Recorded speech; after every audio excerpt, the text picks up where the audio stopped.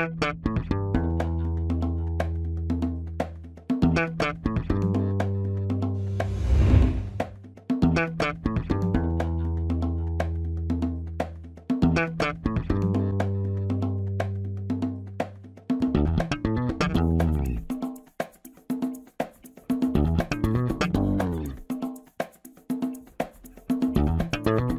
Este é o Tapa da Mão Invisível, podcast destinado àqueles que querem ouvir ideias que abalam sociedades e não são ditas da mídia tradicional.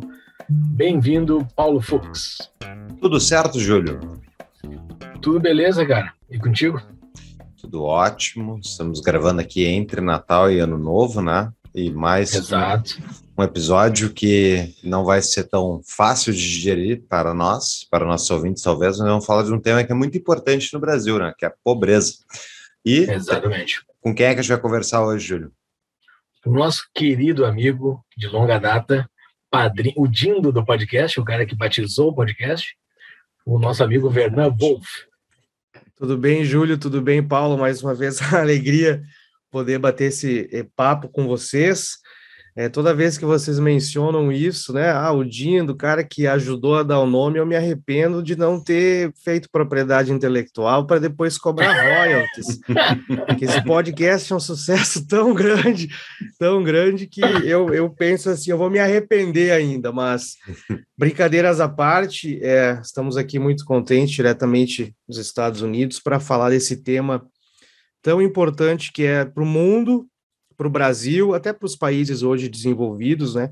Que é o tema da pobreza e de que maneira a pobreza pode ser vista de, de várias dimensões, né? Como ah, nós mencionamos anteriormente aqui, a pobreza muitas vezes pode ser algo relativo, dependente do país que você está ou não está, mas eu tenho certeza que vai ser é uma conversa e mais uma conversa ah, legal, mais um bate-papo gostoso com vocês aí. Exatamente. Antes da gente entrar nesse tema delicado, que não é um tema muito feliz de se falar, Vamos para os nossos recadinhos únicos iniciais. Então, pessoal, uma das questões que a gente mal abordou aqui durante o episódio, mas que com certeza faz diferença na diminuição da pobreza, é o empreende empreendimento, é abrir negócio, é tocar negócio. E se você quer empreender no Brasil, nessa complexidade tributária e legal, é muito importante você acertar o contador. E é essa parceria que a gente está ressaltando aqui, é a DBI Contabilidade, é a contabilidade do Tapa, é uma empresa, e o pessoal é muito gente fina, sabe demais. Qualquer dúvida, só procurar eles no arroba DBI Contabilidade no Instagram. E tem uma promoção, né, Júlio? Exatamente. Promoção topzera da DBI, que os primeiros quatro meses de honorários são na faixa e a abertura da empresa também, os honorários de, de abertura da empresa também são na faixa, só dizer que é, que é do Tapa, quando for entrar em contato com eles, que eles dão essa promoçãozinha top. É só entrar em contato com a DBI Contabilidade pelo Instagram, arroba DBI Contabilidade, ou no nosso site, tapadamainvisível.com.br barra DBI. Isso aí.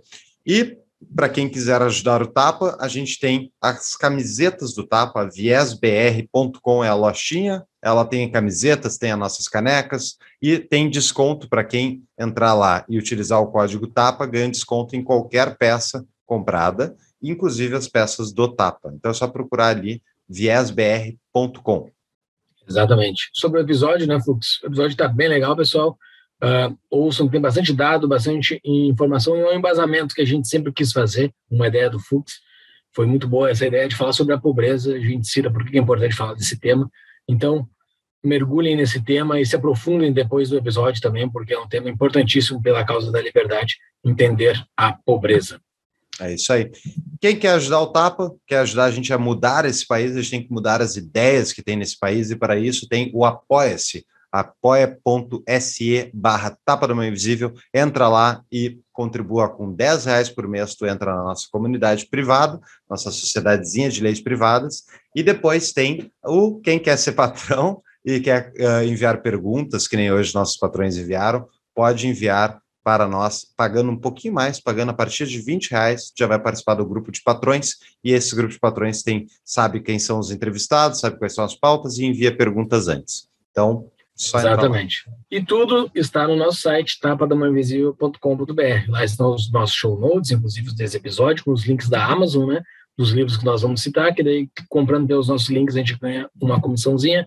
Os links dos nossos patrocinadores estão no nosso site, os canais de WhatsApp e Telegram para receber as notificações no seu celular e a livraria dos livros que nós mais indicamos. Também estamos nas redes sociais, as duas principais, Instagram e Twitter, onde nós divulgamos os nossos episódios e outros conteúdos também. Os nossos Instagrams, os nossos Twitters também estão disponíveis, os nossos pessoais, meu, do Fux e do Thiago. E também estamos no YouTube. Quem está nos ouvindo pode nos assistir pelo YouTube. É só entrar lá, dar o like, curtir lá no YouTube e nos assistir por lá. É isso, Fux? É isso aí, vamos para o episódio, tem bastante conteúdo. Antes de entrar para o nosso episódio, vamos apresentar esse nosso amigo novamente. Fernando Wolff, economista formado pela Universidade Federal do Rio Grande do Sul, a URGS, mestre em economia pela Clark University, Massachusetts, Estados Unidos, professor de economia e estatística pela Bridgewater State University, Massachusetts, Estados Unidos, e fundador da WA Consulting. Fala Posso dizer que sou um sobrevivente, sobrevivi ao DAECA da URGS, o Diretório Acadêmico de Economia da Universidade Federal. Eu, né, sobrevivi, consegui me formar aí, mantendo uma visão mais liberal, clássica, mais liberal com relação à economia, mas não foi fácil. Brincadeiras à parte, claro.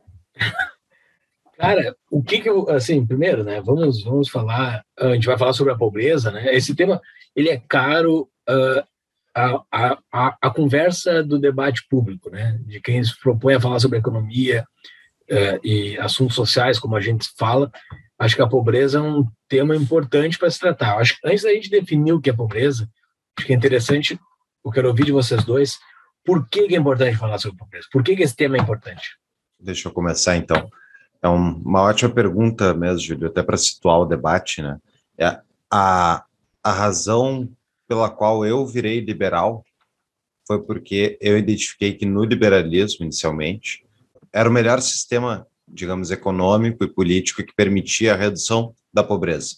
Então, é uma questão que eu uh, sempre me incomodei muito com a pobreza no Brasil e, e que ela é muito clara, né? Muita, muita, muita na nossa, enfim, a gente enxerga no dia a dia. E isso que eu moro numa das regiões aí que vocês vieram daqui também de Porto Alegre, uma das regiões menos pobres ainda do Brasil. Então, a pobreza é um problema muito maior do que é em Porto Alegre aqui, embora aqui também tenha muita pobreza, muita miséria. E a minha, a minha preocupação com o assunto foi de que justamente a, o Brasil não sai desse ciclo de pobreza, né, histórico, e, e isso é muito triste, porque criar riqueza não é, ao meu ver, difícil. Não, tu precisa só ter uma, uma, um conjunto de regras que permita que a sociedade construa riqueza. Tu, tu tem que respeitar direitos de propriedade individuais e tal, e isso permite a construção de riqueza não é que a construção de riqueza é certa, né, mas um sistema aberto a isso vai permitir que as pessoas ascendam. E, e eu enxergo o Brasil como um país que não permite isso de forma clara, não permite isso, na verdade, impede, prejudica e faz com que a gente conviva com pessoas catando lixo. Aqui passa na minha frente, no meu, meu apartamento, todo dia passa uma moça uh, coletando lixo, a, muitas vezes com a família, e eu vejo seguido hoje, desde o início da crise da pandemia, eu vejo famílias com crianças andando à volta de lixos, e isso, tipo, é impressionante, assim, o nível de subdesenvolvimento que isso representa, né? Então, é por isso que eu me preocupei inicialmente. Ó. Egoisticamente, eu não gosto de ver pobreza. Eu quero que as pessoas pobres não sejam pobres, mas eu sei que a gente não pode passar uma lei para resolver isso. A gente tem que ajudar elas através de um sistema spoiler, econômico. Spoiler. É, a gente tem que, através de um sistema econômico, permitir que elas consigam construir riqueza no longo prazo. Né? E eu não estou dizendo aqui que a pessoa que é pobre, miserável, vai conseguir construir a Apple Computers, mas ela pelo menos pode conseguir um trabalho bom, pode conseguir trabalhar em um lugar que vai valorizar ao longo do tempo e não ter que catar lixo. Então, essa é a minha preocupação com a pobreza. E vocês? É, eu acho muito interessante que o Paulo falou. Uh, a pobreza é muito importante porque entendendo as causas da pobreza, na, na, minha visão, entendendo o que causa a pobreza, a gente pode tentar definir o que, que a gente pode fazer para acabar com a pobreza. Eu acredito que o objetivo de qualquer civilização, eu já falo civilização assim, porque para sair da, da questão do país, É, o objetivo de qualquer civilização é crescer, né? É prosperar, é progredir, é resolver problemas no nível individual, no nível familiar, no nível regional, de forma que cada um dos indivíduos consigam prosperar, primeiramente, individualmente, e atingir o seu propósito individual na sua vida. Eu acho que as pessoas buscando né, a prosperidade, é o crescimento pessoal, o crescimento individual, isso aí se espalha pela região, pela sociedade, e faz com que a civilização inteira consiga é, criar soluções para problemas que poderiam ser muito uh, graves no longo prazo, no curto prazo. Por exemplo, a gente viu nos últimos 100, 200 anos a maneira como a civilização ocidental e outras civilizações no mundo erradicaram problemas ou ajudaram a resolver problemas como saúde pública, de que maneira novas medicinas foram desenvolvidas, a questão, por exemplo, né, de novas tecnologias que possibilitaram a nossa vida ser muito melhor hoje em dia.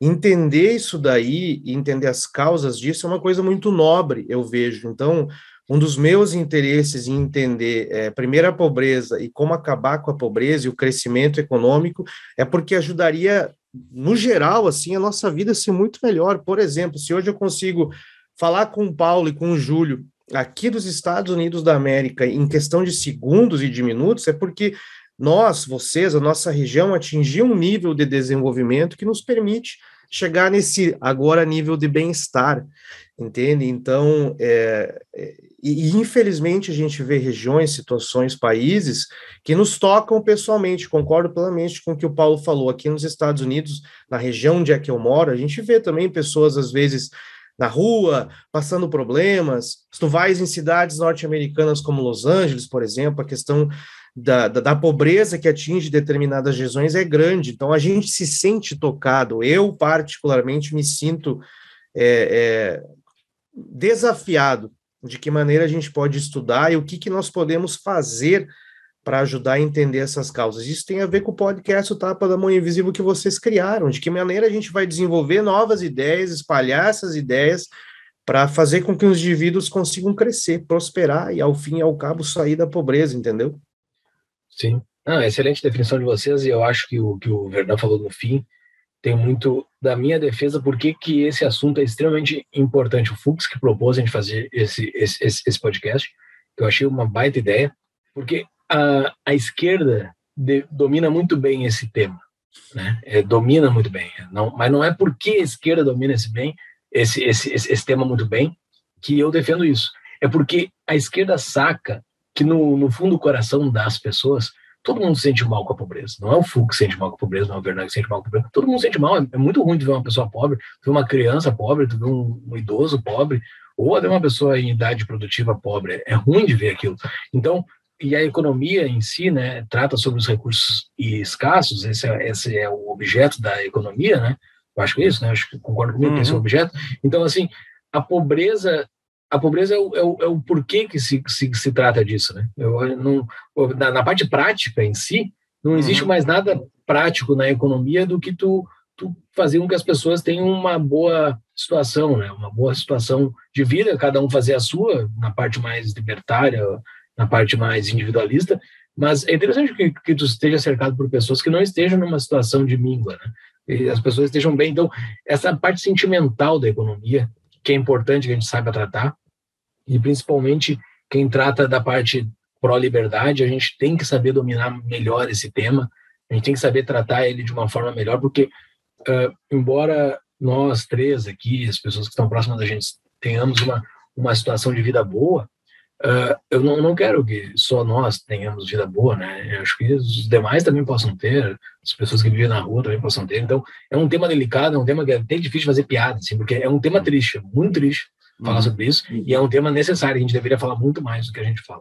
Eu concordo 100%, Júlio, é, eu acho interessante né, a gente tocar nesse assunto, porque tem diversas abordagens de se falar e de se tentar é, reduzir ou combater a pobreza. Isso que tu mencionaste utilizando uh, o termo à esquerda, eu vou falar da seguinte maneira: eu conheço pessoas, amigos, indivíduos, é, políticos, empresários que eles querem acabar com a pobreza buscando é, punir os possíveis culpados que geram a pobreza, entendeu? É, através da punição, por exemplo, vamos uh, punir o indivíduo que ele tem muito dinheiro, muita prosperidade, porque ele é o responsável por causar a pobreza. Eu acho que a visão deveria ser um pouco diferente, entendeu? Nós tentarmos entender e combater a pobreza, vendo de que maneira a gente pode incentivar as pessoas e recompensar as pessoas para sair dessa situação. Então acaba tendo aquela visão é, revanchista, acho que esse seria o termo, e punitivo, entendeu? Então a, é muito interessante a abordagem que se é tomada nessa questão da miséria, da pobreza e assim por diante.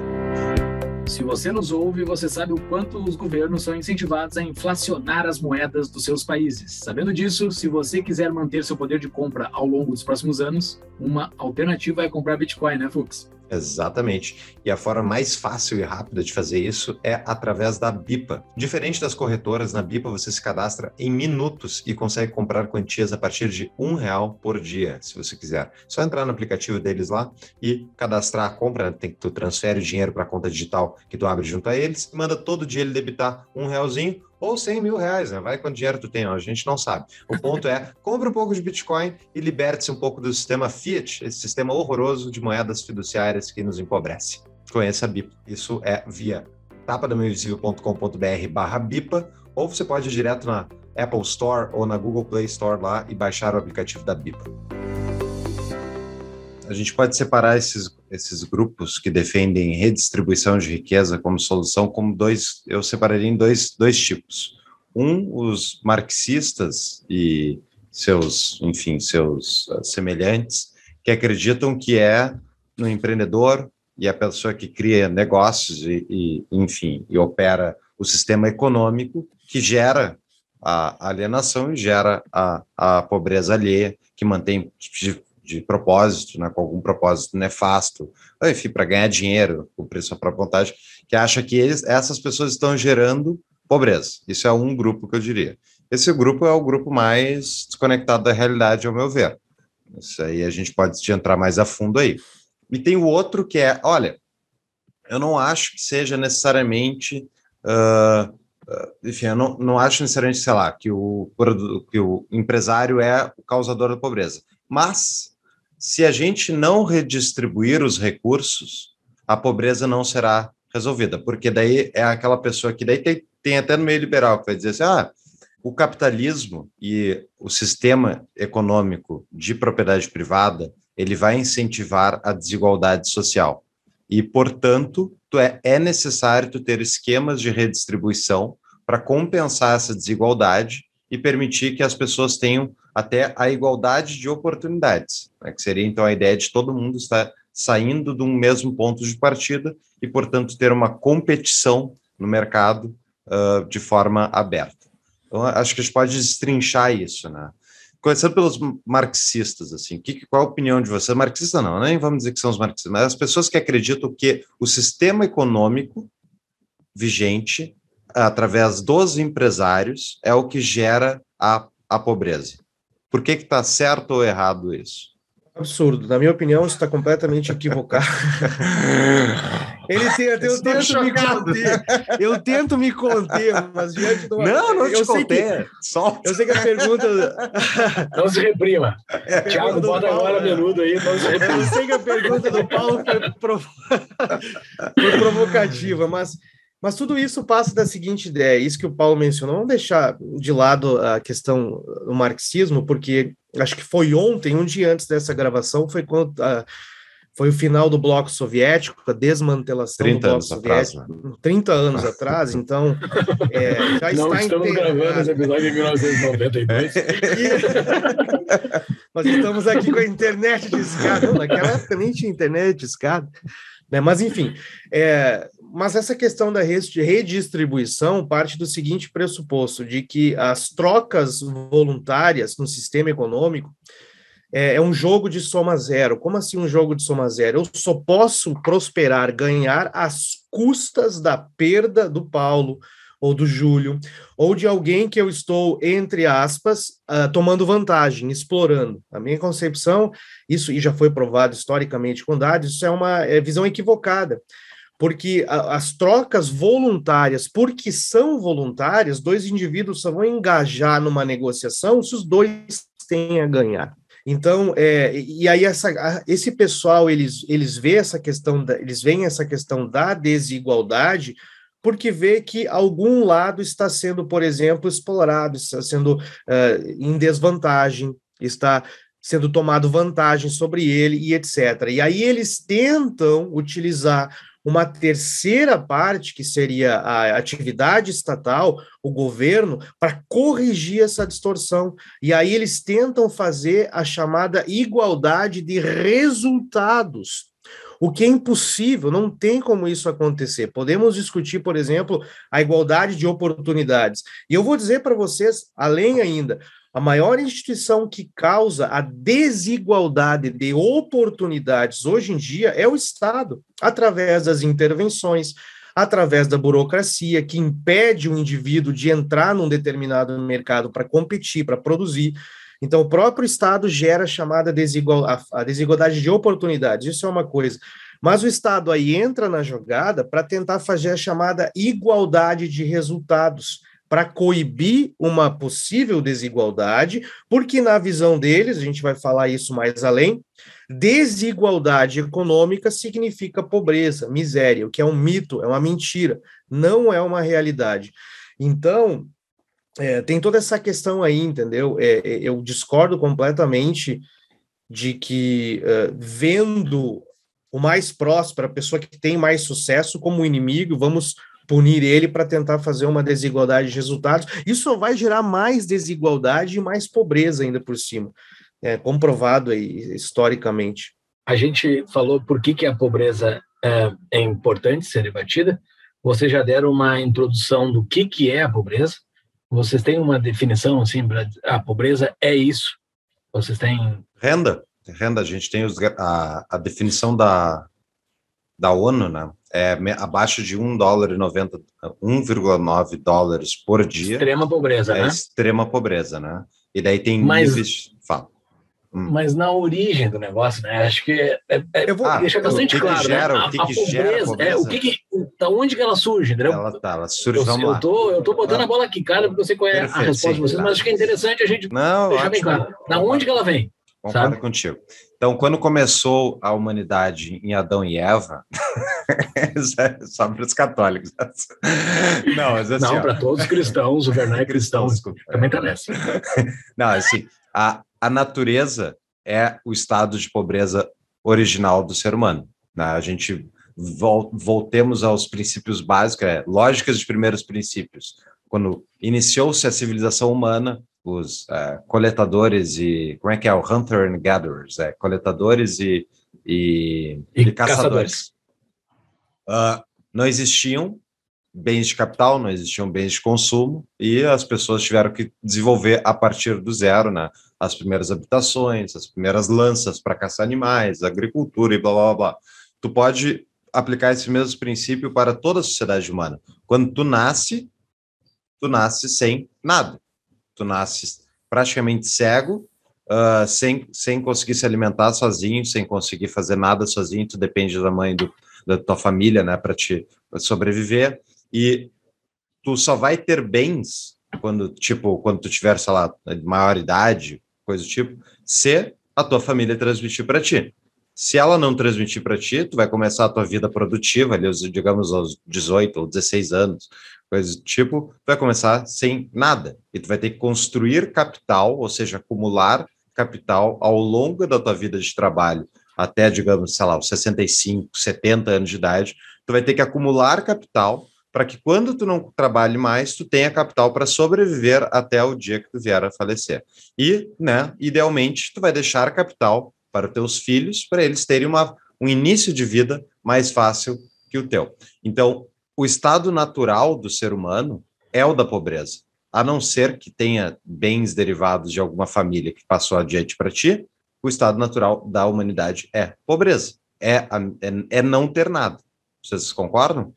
E não só o processo de herança que tu, que tu, que tu citou muito bem aí, mas uh, todo o processo de quando uma pessoa passa pelo mundo e se ela produziu coisas, ela deixa para o mundo, né? Tipo, toda a inteligência de se fazer uma estrada, por exemplo. Foi criada, sabe-se lá por quem, uma, não foi criada por uma pessoa, foi criada por uma soma de conhecimentos, e ficou as estradas hoje aqui, eu estou em Florianópolis hoje, e, e, se passa 101 aqui perto de onde eu estou. Então, alguém fez essa, essa estrada há séculos atrás, por algum motivo qualquer que está servindo para a sociedade até hoje. Então, assim, foi se deixando coisa para a sociedade, foi deixando conhecimentos para a sociedade, foi se acumulando conhecimentos para a sociedade, que também é riqueza. Então, assim, uh, isso é contrário da pobreza, né? Isso, a, a, riqueza é incorporada à sociedade.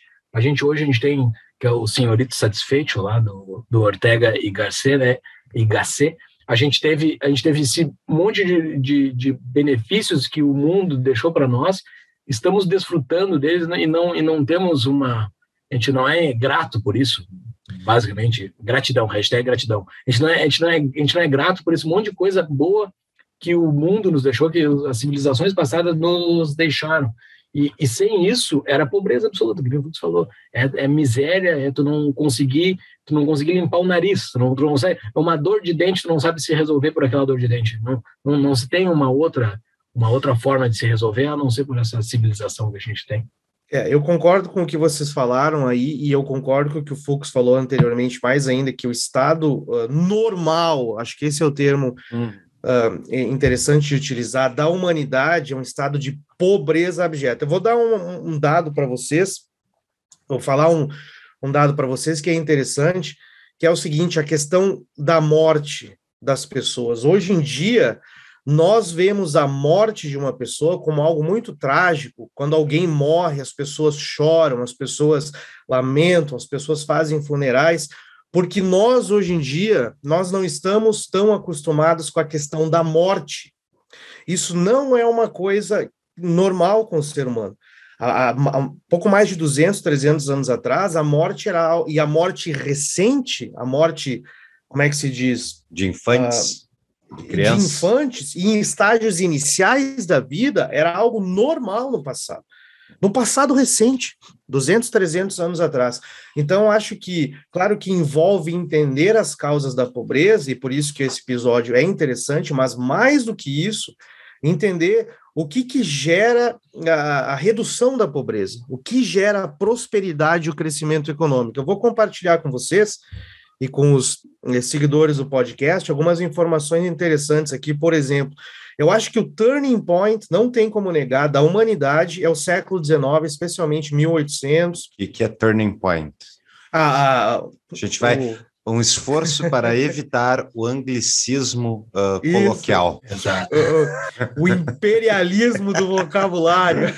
Cara, só, só um parênteses. na campanha do Eli aqui. O é, Eli tem essa campanha. Mas só um Isso. parênteses, isso é uma coisa que, devido aos nossos episódios de Conexão Boston, eu me liguei, que é tipo, primeiro, quantas pessoas não falam inglês? É uma é. parcela considerável da população. Segundo, é. que a, se a gente se a gente não evitar o anglicismo, realmente a língua portuguesa vai tipo se esvair. Se é bom ou é. ruim, não precisamos entrar nisso agora, mas tipo, então vamos por enquanto evitar. O nosso público fala português. Então, vamos Exatamente. Vamos deixar os ataques à língua portuguesa só os ataques domésticos, como todes e esse tipo de coisa, os ataques internacionais do, do imperialismo yankee. Mas enfim, eu acho que a grande mudança na história da pobreza mundial aconteceu no século XIX, tá? Como eu falava, especialmente em 1820, 1830, quando os ganhos da Revolução Industrial, inclusive, eu estava falando, estava ouvindo um podcast semana passada, um economista, que ele não utiliza o termo revolução industrial, ele utiliza o termo grande enriquecimento. Olha só, a Revolução Industrial, ou grande enriquecimento do século XIX, fez com que os ganhos de produtividade das pessoas se espalhassem pela sociedade de uma forma sem precedentes.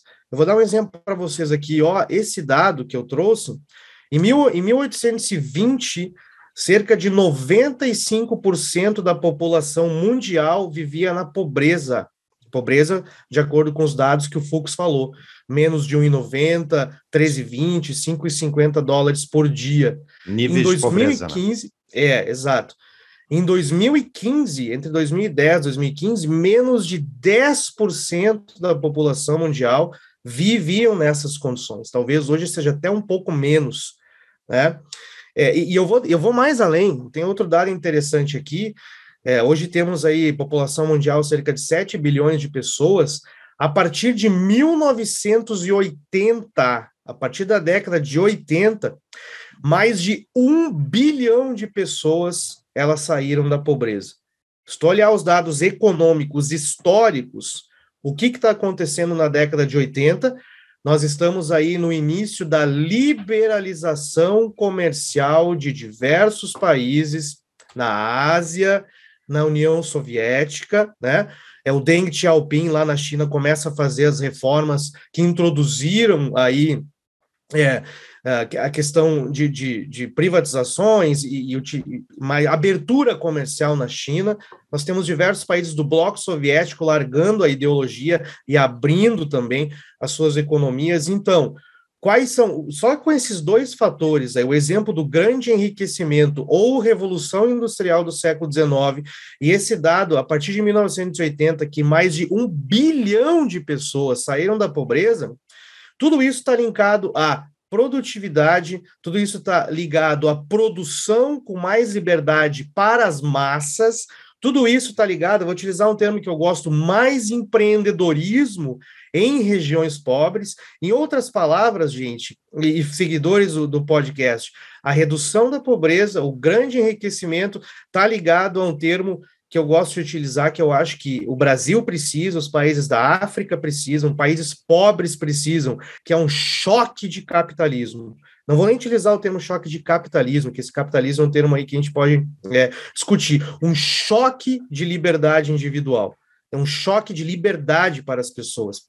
Então, é, se você olhar o time, a, a linha do tempo, né, o que está gerando enriquecimento e redução da pobreza, está tudo ligado com liberalizações, está tudo liberado com maior liberdade comercial e assim por diante, entendeu? Então, é interessante a gente analisar a pobreza, mas também ver o que está causando a redução da pobreza ao longo do tempo. Pessoal, o mercado de investimentos em startups está crescendo muito no Brasil e ter uma assessoria jurídica durante o investimento é fundamental para garantir segurança na negociação e evitar dores de cabeça no futuro. O Cunha Mantovani Advogados é um escritório especializado em startups e venture capital. Eles são nossos parceiros aqui. Eu e o Júlio, a gente já consultou eles para justamente dúvidas de, de empresas que a gente queria abrir, ideias de negócio. E tu sabe como é que é? No Brasil, se tu não falar com um advogado, tu pode fazer um monte de coisa errada e a gente tem a sorte de ter como patrocinadores aí um escritório que é especializado em ajudar justamente startups e venture capital. Então, para vocês conhecerem mais, procurem eles no cunha.mantovani no Instagram e saiba mais como é que eles podem te ajudar. Ou acesse o site do Tapa da Mãe Invisível, tapadamãeinvisível.com.br barra CMA, de Cunha Mantovani Advogados falou o século XIX foi o século né, que tirou a maior parte da população da miséria. Coincidentemente, foi o século do padrão ouro, moeda forte no bolso das pessoas. Pensando no ouro como um ativo ao portador, ou seja, aquele que detém o ouro é seu proprietário, o ouro ele funcionava como o direito de propriedade perfeito para aquele que o detinha. É tua propriedade, é que nem tu carregar um, um pedaço do teu imóvel só que sem ter que pagar IPTU todo ano, sem ter que pagar impostos recorrentes, né? E tu basicamente tu carregava propriedade, propriedade no seu senso, no seu sentido mais puro, de que aquilo é teu e, é, e ninguém detém direito sobre aquilo, logo aquilo ali é um ativo econômico. Portanto, se aquele ativo econômico ele valoriza com o tempo devido a uma deflação e ao fato de que, portanto, tu sentar em cima daquele, daquele, daquela barra de ouro vai fazer com que só sentar e esperar vai, ela vai valorizar com o tempo, porque a quantidade de bens na, na economia vai crescer e a quantidade de moeda não está crescendo na mesma velocidade, logo vai ter uma deflação, logo mais gente vai ter uh, o seu vai ter patrimônio crescente, né? E isso vai justamente naquilo que é mais necessário para tu mitigar a pobreza, que é justamente o acúmulo de capital. E é esse, esse, essa mudança que falou que houve recentemente, é até uma coisa que eu há muito tempo eu penso. O Tapa fez uma publicação no início de, no final de 2020, se eu não me engano, no nosso Instagram. Uh, o Thiago preparou lá, tipo, uh, melhor melhor século da história, uma coisa assim, tipo, mostrando os indicadores como a, a, humanidade tinha atingido a melhoria significativa de vários indicadores sociais globais, né? Inclusive a redução da pobreza, muito acima das expectativas da ONU lá dos anos 90, e vários, vários uh, estratagemas que tinham sido feitos de redução da pobreza global, as metas foram batidas antes do tempo, e eu fiquei pensando, bah, tipo, porque a gente aqui no Brasil, né, fica olhando, é, o Brasil tá, melhorou, mas ainda é um país pobre, tem muito lugar pobre, e daí, bom, onde é que, onde é que foi essa melhoria da pobreza? Foi justamente onde tu citou, né, Vernan? Foi lá no Sudeste Asiático, especialmente na China, um pouco ali na, a, nos países periféricos da antiga União Soviética, que alguns deles abraçaram liberalismo, e isso tirou só que a população deles, tirou eles da miséria, né? Mas isso é uma população pequena, em relação ao todo do, do, do, globo. O que mais importou foi o Sudeste Asiático, que teve justamente o quê? Uh, saiu a China de um comunismo maoísta uh, que matava pessoas aos milhões e não respeitava em nada direito de propriedade, para um sistema de mínimo respeito aos direitos de propriedade. E só nisso aquele país passou, de vez de matar a gente, passou a permitir o crescimento da economia, da riqueza e das pessoas, essas pessoas saírem da miséria, e devido à divisão internacional do trabalho ter aumentado com a globalização, ou seja, mais pessoas dividindo, especializando-se em etapas diferentes da produção, fazendo cadeias de suprimento, de fornecimento de bens mais complexas, mais especializadas, isso permitiu que a gente tivesse uma abundância de produtos ao redor do globo, e isso também ajudou a reduzir a pobreza. Então foi muito interessante isso, porque eu acho, e eu me corrijo se eu estiver errado, a redução da pobreza não foi aqui no Ocidente. O Brasil reduziu, de 2004, já falar os dados depois, reduziu a pobreza, mas, tipo, o Brasil tem muita gente pobre ainda, a gente vai falar os dados depois, e o Brasil e outros países, América Latina, continua sendo um buraco né? Então, uh, onde é que aconteceu? O Brasil e essa região não se beneficiou significativamente, ao meu ver, dessa redução de pobreza. A gente melhorou a nossa vida, sim, os próprios, próprios pobres brasileiros melhoraram a vida, mas a miséria continua sendo um problema. Exatamente. Tem um dado interessante em tudo isso que o Paulo falou e que eu falei aqui também. É, a pessoa que está ouvindo agora pode pensar assim, tá, mas o Vernan falou da proporção da população mundial vivendo na pobreza em 1820 e depois em 2015. Mas, se você olhar ali, eu tenho outro dado aqui também, que há 40 anos atrás, só para a gente ter uma ideia de evolução, 40 anos, 39% da população do mundo viviam na pobreza. E hoje isso é um número muito melhor. Mas tem outro dado aí oculto, que eu dando uma pesquisa rápida aqui para esse episódio, eu, eu pesquisei e, e me dei conta disso, tudo isso acontecendo com a população mundial aumentando. Uhum bastante. Ou seja, imagina o tamanho de crescimento para essa a pobreza ser reduzida de 95% em 1820 para 10 hoje, com a população mundial aí aumentando, dobrando, aumentando significativamente, imagina o impacto de produtividade, riqueza e disseminação de novas ideias que isso deve que que deve ser gerado para causar essa redução da pobreza. Mas o que eu quero que a gente tenha em mente é o seguinte: Galera, é desde o início da humanidade, não importa como você pensa, se em milhões de anos ou 10 mil anos, do início da humanidade até 1800 e vamos pegar 1820, é, é milhares de anos. E nós, de 1820 para cá, é cerca de 200 anos que nós vivemos nesse oceano de, de prosperidade, de, de, abundância material, e com abundância material vem abundância de lazer, vem abundância de outras coisas também. Ou seja, há pobreza hoje no mundo, sim há, a gente vai até debater as causas disso e tudo mais, mas o que, o que gerou o ser humano, a humanidade, sair desse nível abjeto de pobreza foi o desenvolvimento de novas ideias, novas técnicas de produção, que geraram novos produtos, e isso está completamente relacionado à atividade de livre empresa, ou seja, o livre mercado. Não há como negar, isso é fato histórico. É, o livre, é, essa tradução na livre empresa é, pode ser um pouco dificultada aqui no Brasil, porque empresa é um, é um ente muito específico, mas é a livre iniciativa, né? Uma pessoa poder Exato. fazer associações que quiser, ou se não quiser fazer associação, ou fazer alguma outra coisa de uma forma diferente do que foi feito até então, Uh, essa, essa, essa liberdade, ela proporcionou isso. Esse gráfico que o Werner falou, ele é muito bonito de se ver. É um gráfico assim que a população mundial ela dispara em números absolutos, sem fazer proporcionais. Proporcionais é uma surra, é. mas e o número de e o número de pobreza despenca, assim, fica uma vuvuzela, é a vuvuzela da riqueza, assim, que eu chamo aquele gráfico, porque ele uhum. fica a coisa mais linda do mundo, assim, e ele e, e, e ele está em progresso, ele não é um gráfico que tá parado, esse, esse é que é o mais bonito ainda, não é algo que é, a gente está vendo é. que ocorreu, uh, sei lá, décadas atrás, não, ele está melhorando todo ano, a gente vai citar dos números do Brasil, ele melhorou um pouquinho na margem, agora no último ano, uh, mas o Brasil, com o passar das décadas, tem melhorado também, porque o Brasil década de 80, 90 e o início dos anos 2000 melhorou bastante.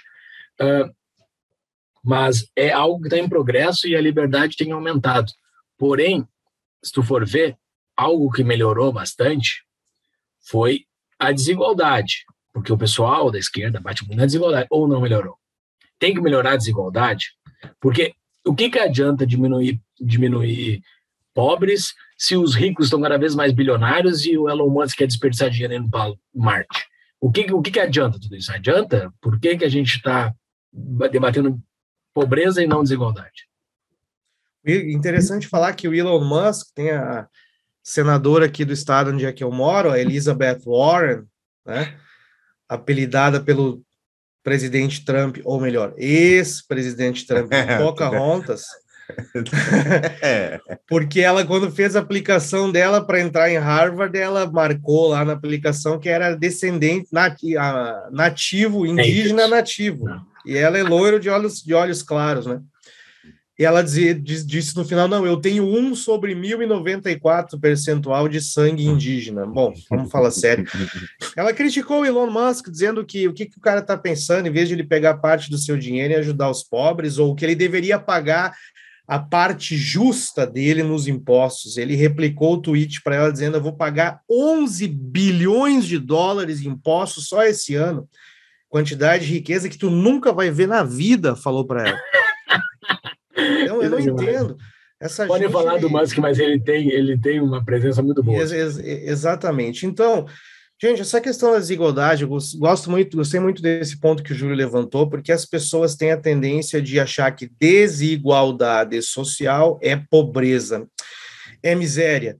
E se há pobreza, é porque somos desiguais, ou seja, eles acham que a desigualdade social é, é, é o que causa a pobreza. Isso é um conceito completamente equivocado né? Porque eu gosto muito de um economista do século XX, Joseph Schumpeter. Ele escreveu um livro muito bom, Democracia, Capitalismo e, e Socialismo, onde ele fala uh, do que ele chamou da destruição criativa. Uma das coisas que faz a sociedade progredir e mover adiante é a inovação dos empreendedores que traz novas técnicas, que traz novos métodos de produção, como Henry Ford falou no início do século XX, se eu fosse dar para o homem o que o homem queria, eu ia dar para ele um cavalo mais rápido, mas o cara foi um gênio, ele criou o automóvel. Então, essas inovações geram a chamada destruição criativa. E o Joseph Schumpeter falou que essa destruição criativa, no início, gera um impacto de curto prazo que acaba gerando alguma desigualdade. Algumas pessoas perdem o emprego, algumas indústrias deixam de operar, a questão mais eh, famosa, podemos falar, a máquina de datilografar, né? Mas no longo prazo, a geração dessa nova ideia, essa nova técnica, vai gerar ganhos para todas as pessoas. Então, só um pequeno exemplo para dizer como é, não é desigualdade social que vai gerar pobreza. Não tem nada a ver uma coisa com a outra. Só sei que o Paulo quer falar alguma coisa aí, mas só para a gente começar esse tópico já falando sobre isso daí, entendeu? Não, eu concordo. A questão só é que uh, Schumpeter, eu, eu acho que ele estava certo nesse argumento da destruição criativa, mas existe um outro lado que é a, a por exemplo, se taxa a Ford, né? o Ford, criou a Ford. A Ford, realmente, ela acabou com um negócio de muita gente que estava relacionado ao, ao transporte uh, via cavalos, né? A produção de carruagens, alimentação de a alimentação, só que estava dando um bocejão aí. Foi mal aí. É. Então, não era do teu assunto. Né? essa câmera de merda, deu. Então, a Ford criou, o Ford criou a Ford e ela deixou desempregado muito cocheiro, muita gente que criava, uh, sei lá, ração para cavalo e cuidava dos excrementos dos animais nas ruas das cidades. Ele gerou muito desemprego. No entanto, ele gerou todo um, um complexo enorme de novas indústrias, novos mercados, novos serviços relacionados ao automóvel. É uma indústria que gerou muito mais empregos novos do que destruiu dos antigos. Então, essa questão é tipo, quando se abre um novo mercado, quando se cria um novo mercado, abre-se inúmeras novas possibilidades de criação de mercados relacionados àquele novo produto, serviço e tal. Enfim, então, o problema da desigualdade, que eu acho que é justificado, é quando essa desigualdade ela advém de um favorecimento estatal advém justamente de uma regra, uma benesse do Estado. Muitas vezes com monopólios, oligopólios defendidos por parte do Estado ou de, de empresas né, que têm proteção do Estado. Mas não existe maior monopólio que aqueles que o Estado detém sobre a moeda, sobre a justiça, sobre a segurança e dependendo do país, né, vai botando mais coisas aí dentro. Né? Tem países que não, que indústria petroleira é monopólio, tem indústria que é energia, produção de energia, distribuição de energia, e daí tu vai indo com níveis de monopólios diferentes. Esses monopólios, eles tendem a beneficiar, sim, uh, monopólios não eficientes de mercado, mas sim monopólios que advêm de uma regra estatal que permite eles operarem. Né? Então, uh, é interessante preocupar-se com a desigualdade, eu acho que é importante a gente pensar naquilo que justamente onde é que onde é que está por onde está escoando o dinheiro arrecadado pelo Estado, né? Os trilhões de dólares, de reais arrecadados com impostos, a manipulação da moeda por parte do Banco Central, onde é que está indo esse dinheiro? Né? Então, gente, é, é, essa é a questão principal, ao meu ver, para a gente identificar se tem alguma desigualdade que é injustificada ou não. Agora, isso, no final das contas, não é o que mais importa. O que mais importa é que não tenha gente pobre que elas consigam ascender socialmente. Né? Então, é, é isso que, que mais importa. Então, se o teu sistema econômico impede as pessoas de conseguirem ascender socialmente, porque ele é exclusivo, porque ele trabalha com instituições que servem para extrair dinheiro dessa população em vez de permitir que elas cresçam de riqueza, aí que está o problema. O resto tudo é detalhe, entendeu? É, eu vou utilizar um exemplo agora aqui, um exemplo assim de, como diz, uh, Papel de pão. Pensei aqui agora. Imagina nós moramos num país, claro que eu vou simplificar. Né? Eu e o Elon Musk, nós falamos anteriormente. O Elon Musk tem uma renda anual de um bilhão de dólares. Eu tenho uma renda anual de 100 mil dólares. Tá? Os caras falam para mim assim, Vernan, nós vamos triplicar a renda do Elon Musk e nós vamos dobrar a tua renda. Tu estás de acordo com isso, sim ou não? Eu vou dizer, ai, não, claro que não. Olha a diferença da renda do Elon Musk. A dele vai triplicar, a minha vai dobrar. Ó, oh, dobrar. Ó, oh, que sociedade desigual. Claro que não, cara. Nesse momento nós dois estamos ganhando. E nesse caso aqui, como eu falei anteriormente, eu tenho só um outro dado que eu, eu problema, galera. Eu sou refém dos, dos, dos números, dos dados, mas enfim, essa informação da, da redução da desigualdade do século XIX para cá, a renda per capita em 1840 no mundo era 1.100 dólares. No mundo. Renda per capita, de acordo Explica, com o cara que, que, é fez a renda per estudo. Capita? É a renda per capita, exatamente. Se pegarmos aí a renda gerada no mundo inteiro e dividirmos pela população mundial, né? Seria uma, uma definição assim simples. Aí, ao longo dos anos, de 1840 para cá, nós temos a população mundial aumentando, então o denominador dessa divisão está aumentando. E o que, que acontece com a renda per capita no mundo hoje, ou melhor, 2015, é 15 mil dólares por pessoa. Ou seja, a renda per capita mundial aumentou 15 vezes. Né? Então, o que, que a gente vê aqui? É, que nesse processo deve ter gerado uma certa desigualdade entre os ganhos de renda de pessoa para pessoa? É óbvio que sim, mas no geral todos ficaram menos pobres ou mais prósperos, entendeu? E, e falando dessa questão da desigualdade que o Júlio mencionou, falei para vocês antes, eu, eu, gostaria de mencionar esse índice, é, o índice de Gini, né? Que é um índice que tenta aí dar uma ideia de quão desigual é um determinado país. Para resumir em, em miúdos, o índice de Gini é um índice que vai de 0 a 1, um, né? Quanto mais próximo de 1, um, esse índice significa que o país é mais desigual. Significa que toda a renda, teoricamente, do país ia ser concentrada em uma pessoa. Quanto mais próximo aí de zero, é, é de zero esse índice, mais igualitário é esse país, tá? Eu peguei os top 10 países aqui do índice de Gini. Primeiro país, a Eslovênia. Uh, terceiro, quarto país, Be, como é que é Belarus? Pera, pera, tá, tá Bielorrússia. Tu pulou o segundo? Isso. Tu pulou o é, segundo e terceiro, tá fazendo cherry picking. Isso. É, cherry estranho. Exatamente. Por que, que tu pulou é, o segundo? Olha só, é República Tcheca, né? Tá. o outro é Eslováquia. Uhum. Olha só, país uau, são os, os quatro países aí no, no, índice de países mais uh, igualitários do mundo. Esses são países ricos, são países prósperos? Provavelmente não são. Eu posso até ver onde é que está os Estados Unidos. É, os Estados Unidos é 41, é 0,4 dos Estados Unidos.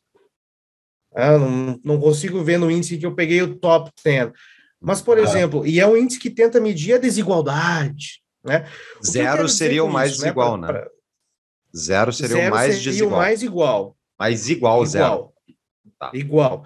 Um mais desigual. Tá. Por exemplo, o índice de Gini de um significa que uma pessoa detém toda a renda do país e o tá. resto não tem ninguém. Tá? Eu quero dizer com isso que uma sociedade pode ser muito igual e extremamente pobre. E outra determinada região, país, sociedade pode ter um nível de desigualdade que não seja baixo, mas é uma, uma, uma sociedade, um país extremamente rico, próspero, onde as pessoas têm a oportunidade de prosperar, de crescer, entendeu? Então, essa questão da desigualdade é, é, é um motivo, é, é que nem eu, a questão da desigualdade social, vou falar uma coisa aqui agora e algumas pessoas não vão gostar. É a mesma coisa que eu vejo a macroeconomia, tá?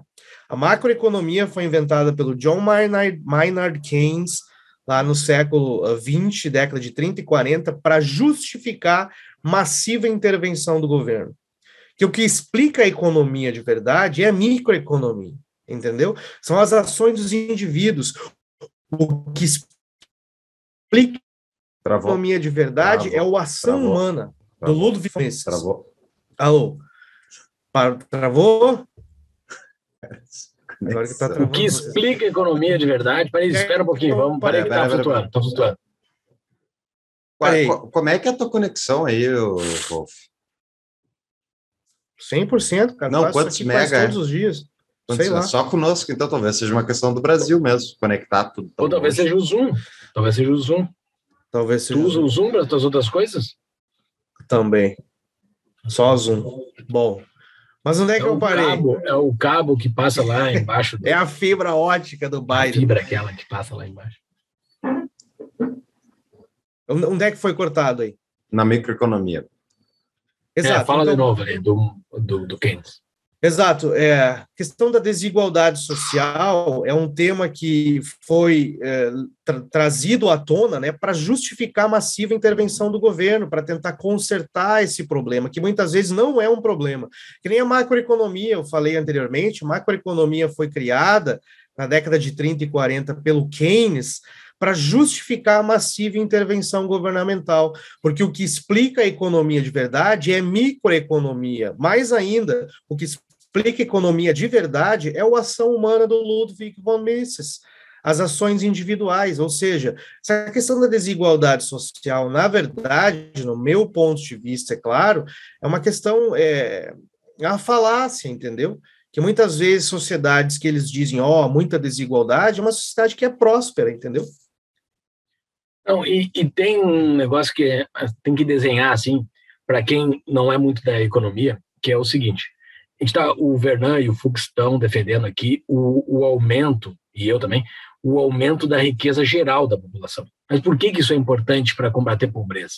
Porque se a pobreza é algo estanque, é algo. Se a pessoa começa a ter uma renda acima de determinada coisa, ela já deixa de ser pobre. Tá? Então, assim, se todo mundo ganha, pouco importa se o de cima está ganhando bastante ou, ou, não, o importante é que os de baixo passem nessa porcaria dessa linha, que é uma linha que é uma linha que, é, que é, não é, ela é tão clara, mas ela tem alguns limites básicos ali. A pessoa tem que conseguir comer, tem que conseguir dormir num lugar tranquilo, tem que conseguir ter o saneamento, botar o xixi, o cocô dela num lugar que apropriado, sabe? É uma coisa que é um que acima de uma linha de renda a pessoa consegue sanar as coisas básicas dela.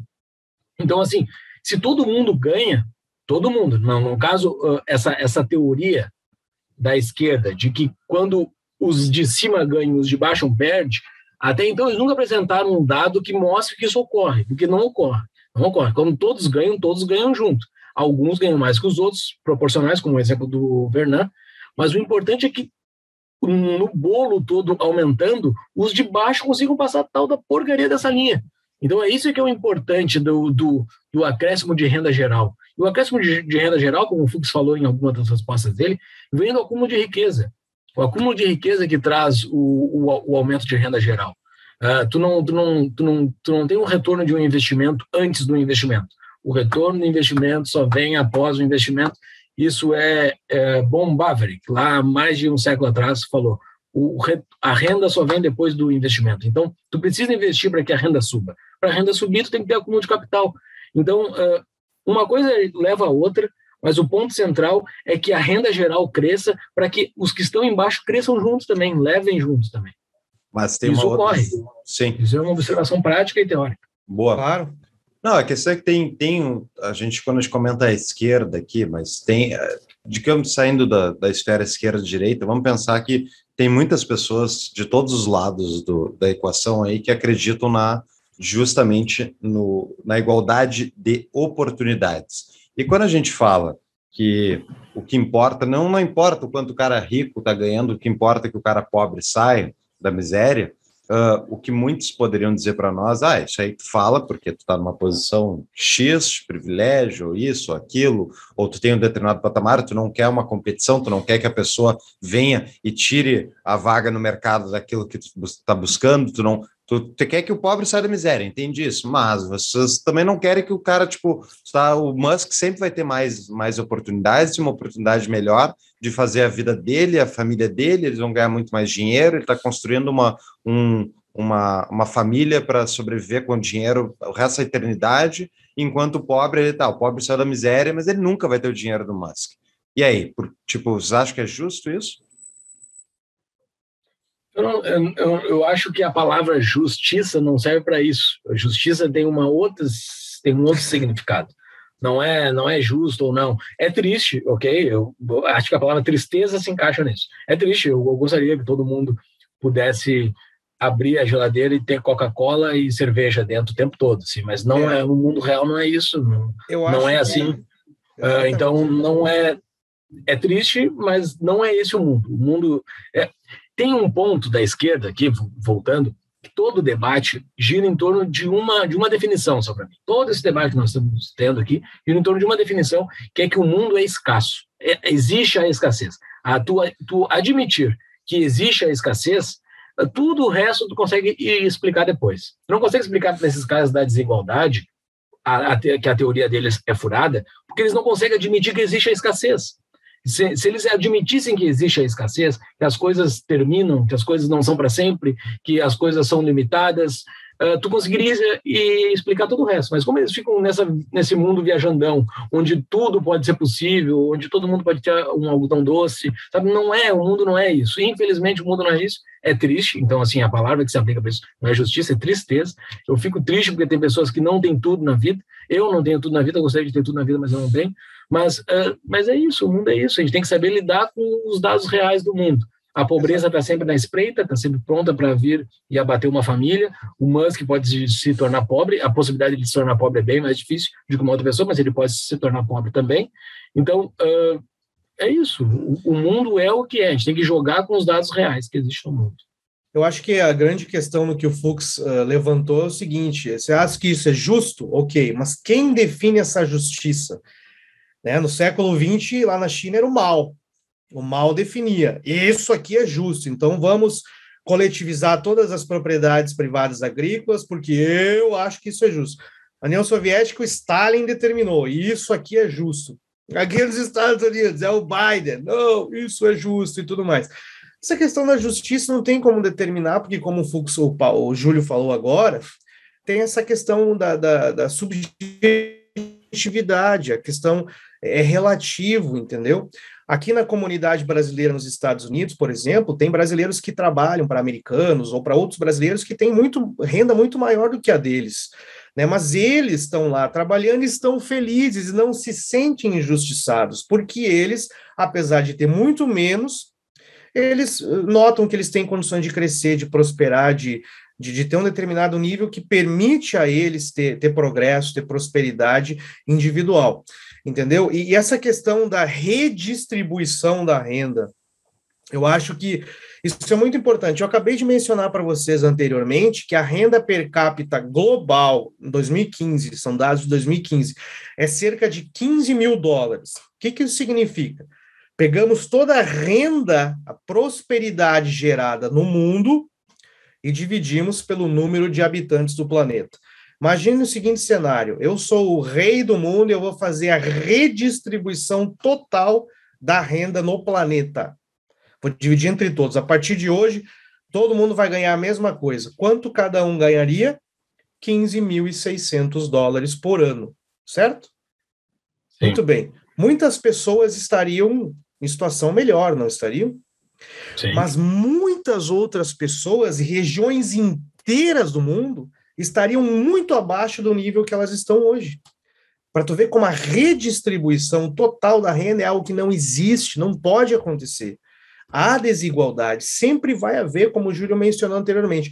O grande desafio, e eu não sei se vocês querem conversar sobre isso daqui uns minutos mais, é de que maneira a gente pode é, reduzir a pobreza, acabar com a pobreza. E uma das minhas respostas seria o aumento da produtividade né, dos indivíduos, dos fatores, mas queria só dar uma pincelada nisso que o Paulo falou sobre a justiça, entendeu? Muito bom. Só complementar com, uh, digamos que a gente vivesse na, na utopia socialista de, do, do socialista aí qualquer, que é de que todo mundo tem a mesma renda e o mesmo patrimônio, e está tudo dividido igualmente. Tá, esse é o, é o marco zero. Daí amanhã nasceu o Michael Jordan. E ele vai jogar basquete melhor que todo mundo. E aí, o que tu vai fazer, entendeu? Como é que tu vai fazer que o Michael Jordan seja igual aos outros jogadores de basquete? Vai tirar uma perna dele? Então, tipo, uh, a desigualdade, primeiro, ela é natural, ela é intrínseca à natureza. A natureza, tem gente que tem gente que na, na, tem bebê que nasce no, em um país pobre ter bebê que nasce num país rico. Então, primeiro, teria que resolver isso, isso que nem o vovô falou. Mas digamos que todo mundo está no mesmo, mesmo padrão exato, momento zero. Momento um, isso já está diferente, porque Exato. a natureza não é igual, pronto. Então, sempre tu teria que ter um esquema de redistribuição permanente para tentar punir aqueles que são naturalmente mais bem afortunados, né? E ainda assim, uh, existe um outro critério, que é tipo, olha, mas vamos, Paulo, o que a gente está falando é que a gente tem que ter, uh, por exemplo, educação, uh, ensino superior, tem que ter moradia, tem que ter coisas básicas para as pessoas poderem exercitar a liberdade, né? aquela, aquela liberdade no sentido uh, positivo, positivo e não negativo, né? que nem no episódio do que a gente falou de chamada da tribo. ok, tu tem que ter condições de pagar isso, como país, como nação. Para tu quer pagar faculdade para todo mundo, primeiro, como é que tu sabe que todo mundo tem que ir para a faculdade? Como é que alguém faz esse cálculo? Eu quero saber. Como se a gente não precisasse de gente para fazer a manutenção uh, de coisas que um ensino técnico basta, né? Como se tivesse gente que simples, que não tem interesse nenhum intelectual e não quer fazer faculdade, tem uma, e quer ter uma vida mais simples. As pessoas têm esse direito e daí então tu vai forçá-la a fazer uma faculdade para quê? Para perder tempo, perder sua vida à toa? Então, uh, primeiro, as vontades humanas não são iguais. Então, tu fazer um sistema onde todo mundo vai ter uma base igual, ah, ok, educação básica, educação, de, educação até o, o final do ensino médio, para todo mundo ter um ponto de partida igual, beleza, tem que ter condições de pagar e entregar isso. E agora, eis a grande questão. Minha opinião, é possível tu ter uma social-democracia funcional que redistribua a um nível certo e faça o intervencionismo correto, que consiga permitir que a sociedade floresça, olha, talvez até tenha. Pega lá os nórdicos, que os caras adoram citar, tem, eles realmente redistribuem bastante recursos, eles fazem uma equiparação da sociedade através de um alto imposto de renda, quase acima, muitas vezes 50% do patrimônio okay. pessoal. É possível. Vivi. É, é possível. Vivi. Isso, mas é, é para provável. Ouvir é provável, Bernardo. No tapa da mas é provável. O momento Bernie Sanders do Não, Paulo. Mas a minha pergunta, Olha só, não, não existe garantia nenhuma de que a social-democracia vá falhar 100% das vezes. Não existe uma garantia. Pode é, ser que é, tenha alguns vou... momentos que tenha um sweet spot, um lugar mágico de social-democracia. A Suécia, digamos, ela é mágica, ela conseguiu atingir o equilíbrio maravilhoso. Oh, mas, mas ela não chegou lá sendo social-democrata. Ela chegou lá com o liberalismo. Então, correto. É, então, tipo, olha, se meu amigo esquerdista está ouvindo aí, os meus amigos esquerdistas estão ouvindo esse episódio. Eu sei, beleza, vários. vamos concordar, vamos concordar que a gente primeiro tem que ficar rico para depois fazer a social-democracia que vocês tanto querem, que provavelmente não vai dar certo. Na maior parte das vezes não deu certo na minha visão, entendeu? Então, qual é, é o sistema mais fácil de tu chegar num sistema onde as pessoas vão ter renda por conta própria, vão ter patrimônio, acúmulo de patrimônio, vão ter uma vida boa, vão permitir justamente uma sociedade que prospere sem se basear na tomada à força de propriedade alheia, ou seja, na violência estatal, bom, esse sistema é liberalismo.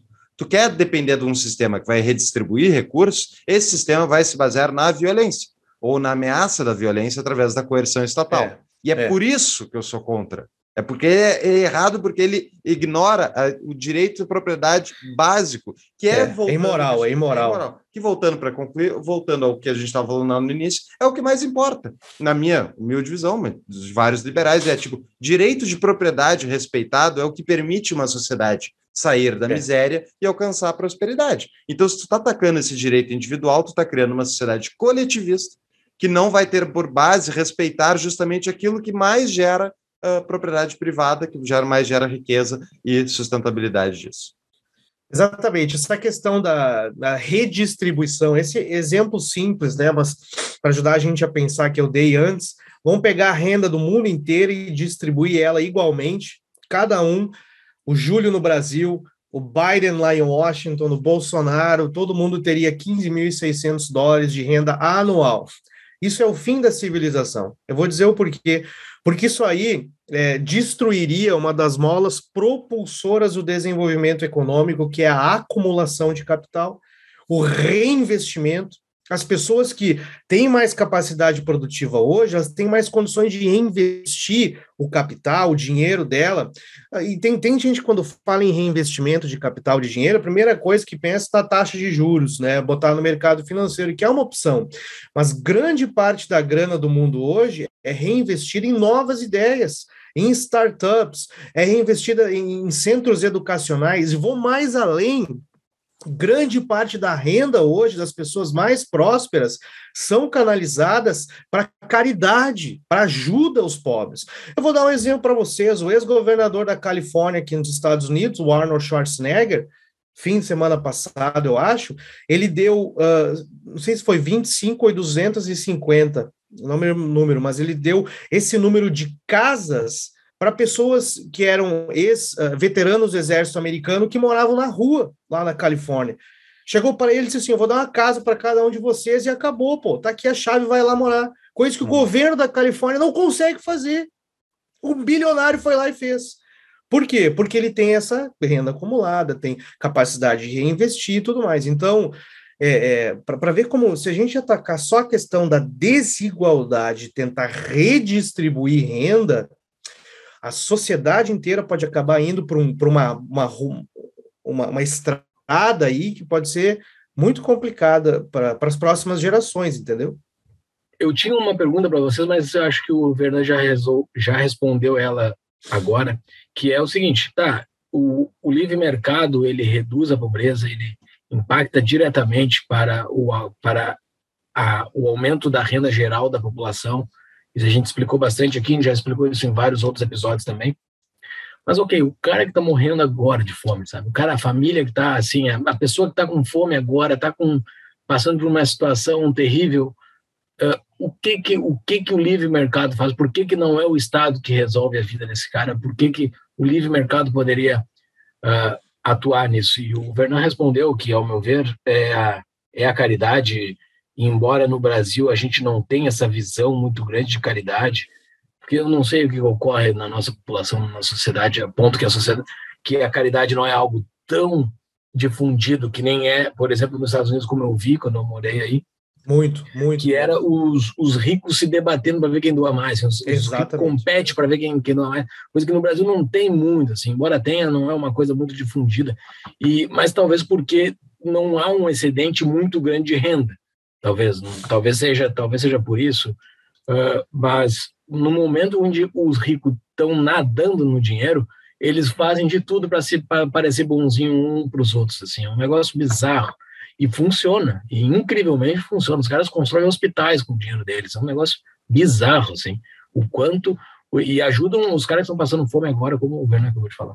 Deixa eu só complementar é. essa resposta do Júlio aí, que é ah, sobre o porquê das doações e tal. O Niall Ferguson, no livro A Grande Degeneração, Niall Ferguson é um historiador, um ótimo historiador inglês, ele se bem que não sei se ele é inglês ou é escocês, é enfim, daqueles países da grande Grã-Bretanha.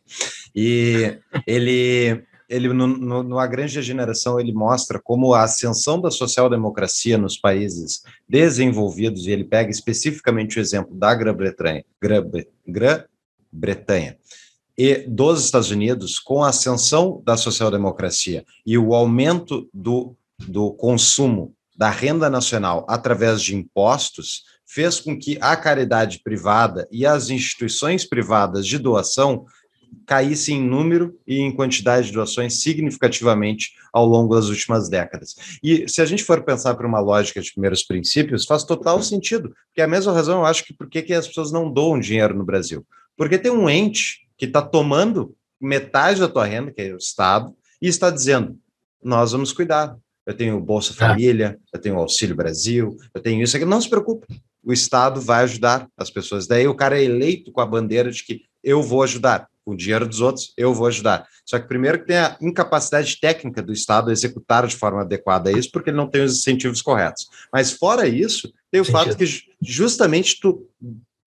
Olha, se o Estado está dizendo que vai ajudar, as pessoas deixam de ter aquela preocupação de elas terem que ser responsáveis justamente por ajudar tu não é responsável pela vida dos outros, tá? Os objetivistas aí, eu, não, eu concordo 100% com vocês. Só que o ponto é, não é a, se a gente ignora a realidade à nossa volta, porque tem um outro ente mágico que diz que vai ajudar e não ajuda, a gente está vendo, as pessoas não estão sendo ajudadas no Brasil. Então, é parte, sim, ao meu ver, dessa questão da caridade individual. Só que daí, de novo, a tua renda está muito diminuída em relação ao que tu pode ajudar né? Porque agora uhum. eu não uhum. tenho 50% sobrando, eu tenho muito menos. A gente passa metade do tempo trabalhando para o Estado no Brasil. É bizarro isso. Então, enfim, é, é eu acho que essa explicação do, do Ferguson está muito boa para isso. E a gente pode ir para as perguntas de patrão, né, Júlio? Até porque a gente tem que entrar nas estatísticas tristes do Brasil. Essa questão, enquanto o Júlio é, vê da, dos... da, é, lá, das, lá, então. da, das, instituições da sociedade ah. civil, como diz, né? Aqui nos Estados Unidos, como o Júlio mencionou, funciona muito bem. Aqui é, é como é que é o Boy Scouts? Ah, os escoteiros, tem clubes uh, privados que eles se ajudam. Teve um amigo meu que visitou os Estados Unidos uma vez, ele foi em Boston e tirou uma foto de um mendigo pedindo dinheiro na sinaleira. E mandou para mim dizendo: Olha aqui a pobreza nos Estados Unidos, a ideia que os Estados Unidos está vendendo e que tu fala aí, Vena, está equivocada, dá uma olhada. Eu fiquei pensando assim, Aqui nos Estados Unidos tem essa coisa, entendeu? Por exemplo, se a pessoa está em condições de necessidade muito difíceis, ela tem diversas opções privadas que podem ajudar ela. São igrejas, são clubes, são é, instituições, é, é, é, o Salvation Army, é um monte de coisa que foi criado pelas instituições privadas, entendeu? O ideal seria no Não, Brasil e... conseguir desenvolver isso também de maneira mais robusta. Eu vou entrar numa seara agora aqui, que eu, eu já vou admitir antes aqui que eu não sei se eu vou achar a fonte, tá? Mas eu vou citar algo aqui que eu vou catar a fonte, se eu não achar, a culpa é minha. O, tem um, um artigo que fala dos moradores de rua, e isso é mundial, não é só no Brasil, mas que os moradores de rua, é, sei lá, 90% homens, e a grande parte do motivo de estar tá morando na rua é uma guampa, é um chifre, é uma desilusão amorosa, é uma, é uma tristeza amorosa, é, o homem se desilude com a vida e vai morar na rua. E tem um artigo que fala disso que é interessantíssimo. Assim. Então, assim, o esquerdista pegar e botar um mendigo na culpa do capitalismo, é o cara não está jogando com os dados, entendeu? Eu vou procurar o artigo, vou colocar na nossa show notes. Se não tiver na nossa show notes, a culpa é minha. Mas o, mas é bem interessante, porque países desenvolvidos, pega esses caras que moram na rua, são outras coisas além daquilo. Sabe, é. existem, é, o, o, capitalismo está servindo ele, poderia servir ele. Existe algum, talvez algum problema mental, alguma coisa assim, alguma outra coisa que também a caridade ajudaria. O cara não quer se submeter a um, a um asilo, não é asilo se chama para morador de rua, a um, a um abrigo, é. o cara não quer se submeter a, a regras de um abrigo, o cara está desiludido com a vida e não quer se é, matar, é, ele só quer morar na rua. Ele só quer, ele só quer... Existe episódio, isso. Tem episódio do índio. E é impactante aos olhos. Isso é impactante aos olhos, porque isso salta aos olhos de todo mundo, tá todo mundo vendo. O cara tá morando na rua, sabe? Como é que é, Fux? Não, é que a gente gravou aquele episódio com o índio, que ele conta se era um, pessoa que residiu na rua e tal. Muitos estão ligados ao, a drogas, né, Ju? A droga. Questão de problema com, de droga, problema de medicação e tal. É, realmente. Que não é... é econômico, não é um problema econômico. Não é isso, é, não é o capitalismo que está tirando essas pessoas na rua, entendeu? É, uhum. é, são outras coisas também. Então, também pode ter problemas de, de o cara ter algum problema na escala social que ele não conseguiu se adequar economicamente. Ok, eu admito que isso possa ocorrer, mas não é a maioria. Não uhum. é a maioria. A maioria são outras coisas que podem é, ocorrer em torno disso. Eu vou procurar e... esse artigo e vou colocar. Boa. Vamos para as perguntas de patrão. Pergunta do Leonardo. Dizem que na favela o Estado é mínimo e por isso o pessoal é pobre, e que já existe um Estado paralelo, máfia, controlando. Nós sabemos que isso é uma falácia, e na favela o Estado é máximo. A pergunta é: quais são os pontos de maior interferência do Estado nas favelas que os mantém tão pobres? Tempo. A gente já falou isso em alguns episódios, né?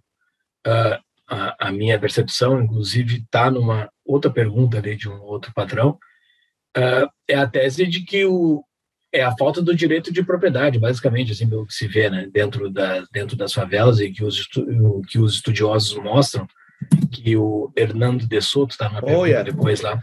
Eu ia recomendar citar. o livro, Mistério do Capital. Yeah. Exato, está numa pergunta de um patrão, a, a, citação desse livro, que a gente vai citar logo, logo em seguida, que a falta de propriedade privada, a falta de definições de instituições que determinam o que, que é, o de quem ali, gera essa gera essa insegurança porque o coitado pobre não consegue sair daquele ciclo ali, né? O cara não consegue tirar um dinheiro emprestado utilizando a casa dele, o cara não consegue eh, saber se a casa dele de fato é dele, ele tem que ficar sempre alguém dentro da casa, porque se alguém sair da casa, vem alguém e entra, entendeu? É um negócio bizarro, assim, a, a é, custódia é. da casa está sendo feita com o próprio corpo, como se fosse no tempo das cavernas, em determinados é, casos, entendeu? É um, é um negócio...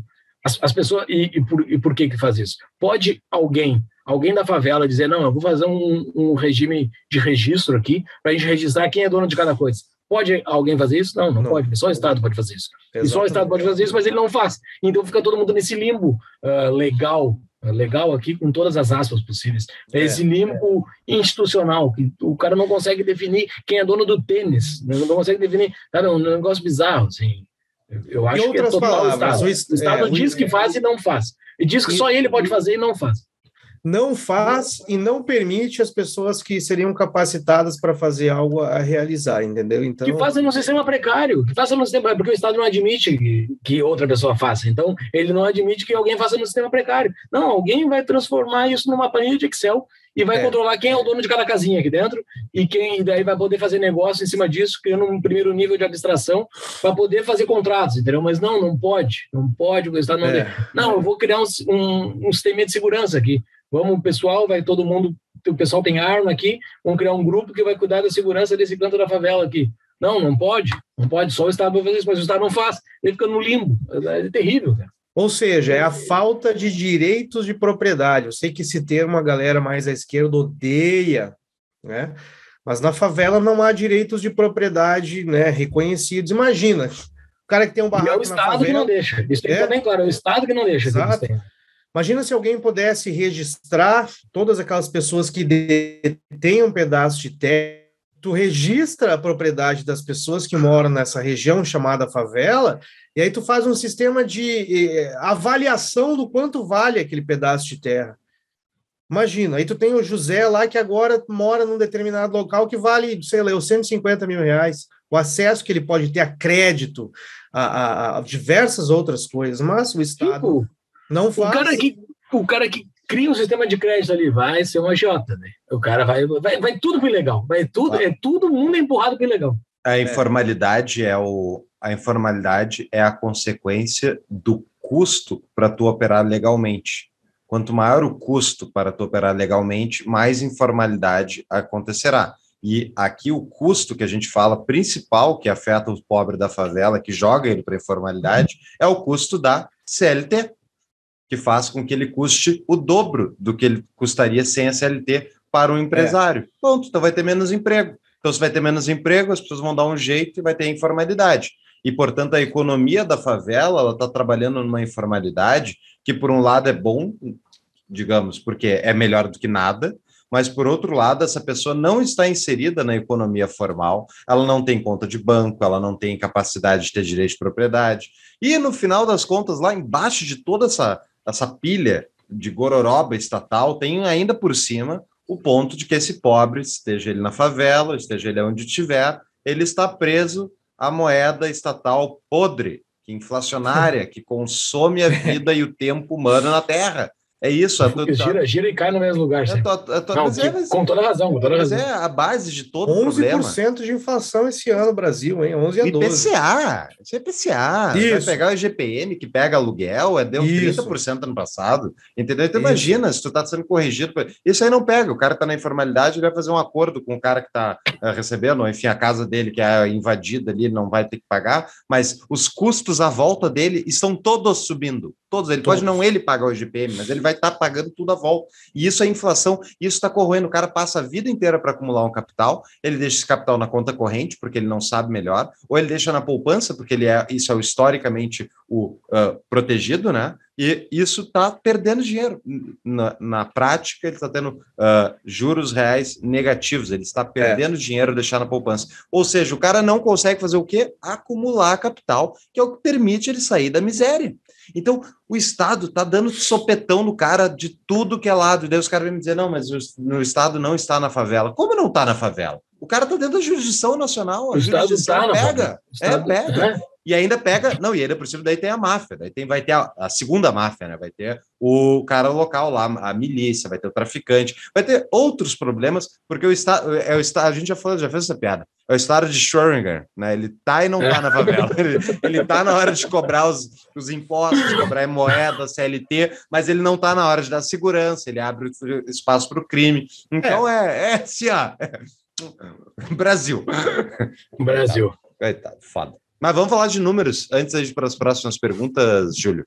Tu tá com os números aí, tu plotou para nós os números vamos, É, Manda. É no estudo Sínteses de Indicadores Sociais, tabela sobre padrão de vida e distribuição de rendimentos, uh, baseado nos dados da tabela 2.20. Essa tabela, uh, botada aqui no gráfico, mostra a pobreza do Brasil em três níveis, a pobreza abaixo de 1,90 dólares, do, o dólar de 2011. Por dia. A, a, por dia. Abaixo de 3,20 e abaixo de 5,50. Isso uh, é, uma, é um, um, nível que mostra ali que a pobreza do Brasil, inclusive esse dado, ele começa em, em 2012, né, ele não tem dados anteriores, mas uh, em outros gráficos do IBGE mostra que existia uma, uma caída da década de 90 até o, o ano de 2014, e a partir de 2015 começa a subir de novo, todos os três patamares, e 2020 começa a cair de novo, principalmente o de extrema pobreza, que é abaixo de 1,90 por dia, né? Uh, que é um número hoje, o último dado, 2020, 5,7% da população brasileira está com uma renda abaixo de 1,90 dólares por dia. Isso é 7, 7 isso é 7, não, isso é 12 reais por, por dia. É muito pouco dinheiro para poder se manter, né? É, o, vocês pegar essa população que está sobrevivendo com menos de 1,90 uh, ah, dólares por dia, Isso aí é situação de extrema pobreza, extrema pobreza e com risco alimentar, né? As pessoas estão passando fome. Então, se a gente pegar aí que é 5% da população brasileira que está em, em 210, uh, 210 milhões da, da população, opa, isso vai dar, então, a gente está falando de 10 milhões e 500 mil pessoas vivendo com uma situação de extrema pobreza. Lembrando até a gente citou já numa, num, dado anterior, de um outro episódio, que a pobreza caiu, foi no episódio do Elleri, do Elleri uh, que a pobreza extrema caiu um pouco em 2020 devido aos auxílios emergenciais, né? Só que isso foi uhum. antes, portanto, o auxílio, como ele foi pago com impressão monetária, com inflação, a inflação demora um tempo a aparecer nos preços e ela veio depois, e é por isso que a pobreza agora em 2021 aumentou novamente. Né? Então, só que se a gente pegar esses dados aí que tu botou, uh, Júlio, pegar a parcela da pobreza inteira, né? Daí pega todos esses três níveis, a gente está falando de cerca de 25% da população brasileira está no nível de pobreza. Então, isso. Que é abaixo de 5,50 dólares por dia per capita. Isso, isso dá é 15, que dá o quê? É, é, 5, tu falou? É, isso vai dar o quê? 30 reais por dia? Mais ou menos. Exato. É. Para se ter uma ideia, né, pessoal, nos Estados Unidos, o trabalhador básico, lá, que recebe menos, ganha 10 dólares por hora. Ah. 10 dólares por hora. Pro cara, o cara, assim, não precisa ter instrução nenhuma. Tu vai lá numa obra lá e vai capinar um jardim lá, tu consegue um emprego por 10 dólares por hora. No Brasil, é, é assim, é, é, é, que nem o Esse... Verna falou lá no início do episódio. É comparativamente, assim, o negócio é desproporcional comparativamente. A gente está com um um quarto da população vivendo é, nisso, né? 52 milhões de pessoas. É tipo. É bizarro. É, assim. é absurdo. Se vocês quiserem, eu tenho alguns dados aqui para comparar o Brasil com os seus colegas latino-americanos. Né? O Júlio mencionaste 5, 5, 5 dólares e 50 centavos por dia. Quanto que é o Brasil? É. Percentual é, da população? Um quarto da população. 24%. Um quarto. Uruguai, 3%. Chile, 3%. Costa Rica, 10%, abaixo de 5,50 por dia. É bizarro, né? É, é, muito bizarro. E se for ver dentro do Brasil, aqui com os dados de 2020, ó, tem os que estão acima de 10% vivendo na extrema pobreza, que é 1,90, né? São é o Acre, Amazonas, Maranhão é 14%, cara, vivendo abaixo da extrema pobreza, é um negócio bizarro, cara. Isso que deve receber muita grana, acho que o Maranhão é o que mais recebe per capita, uh, é o que tem a população que mais recebe auxílio, né, porque é o estado mais, mais pobre. Pernambuco e Alagoas, né. Nos, é, nos estados é. do Sudeste, Sul e Centro-Oeste não tem nenhum abaixo de, de 10%, nenhum abaixo de, só, só tem um acima de 5%, que é o Rio de Janeiro, que é um estado extremamente pobre, e eu aqui estou no estado de Santa Catarina, que é o mais, com, que é o que tem menos pobreza atualmente. 1,9% uhum. da população vive abaixo de 1,90 por dia. Ah. Santa Catarina é um estado muito legal. É, mas uma das razões que a gente pode dizer que o estado de Santa Catarina provavelmente deve influenciar o nível de pobreza é, é um estado mais jovem, com um custo estatal, o governo do estado de Santa Catarina é, tem um custo de funcionalismo de passivo de, de aposentados muito menor, por exemplo, que tem no Rio Grande do Sul. Então, a máquina do Estado não tem que ficar aumentando ICMS todo ano, que nem acontece no Rio Grande do Sul. O Rio Grande do Sul está quebrado há 40 anos, a cada eleição de novo governador, eles passam um novo tarifaço de aumentos de ICMS na energia elétrica, no álcool, no cigarro e coisas do tipo, que vai pegar gente pobre, obviamente, e eles fazem isso para tapar o buraco daquele ano, ou daqueles anos de governo, uh, do governo estadual, e assim se perpetua a pobreza, porque daí tu cobra imposto para pagar funcionário público aposentado do Estado. Eu não estou dizendo que não tem que pagar, estou dizendo que tem que parar de contratar novos e tem que remodelar o Estado, tem que diminuir urgentemente, para não dizer fechar. Né? Bom, vamos para as outras perguntas? A gente tem a pergunta aqui do César. Qual seria o impacto na vida dos mais pobres se o Estado fosse extinto? é uma pergunta complexa, multinível. É, essa pergunta aí é o tabuleiro, como é que é? O xadrez 4D para responder. Só o Trump é... e o Bolsonaro, então. não, eu acho que não tem. Acho, que, acho que essas elucubrações de se o Estado fosse extinto, eu acho que A gente já discutiu sobre isso, né? Num episódio interno, eu, o Fugos e o Thiago, que é o tal do botão vermelho, né? Se o Estado for instinto, que é apertar o botão vermelho, que é o que aconteceria? Eu acho que não existe essa hipótese, assim, é uma hipótese bastante, bastante é, distante da realidade. Eu acho que se perde muito tempo discutindo ela, sendo que ela não existe. Mas eu Porém, se o Estado sair da vida da pessoa, reduzir a atuação em cima de uma pessoa, tá? Não vou dizer o Estado deixar de existir, mas reduzir a atuação em cima de uma pessoa melhora bastante, melhora significativamente a vida dessa pessoa. Isso uh, eu vejo pela minha vida, eu vejo de vida de pessoas que, que, que estão ao meu redor.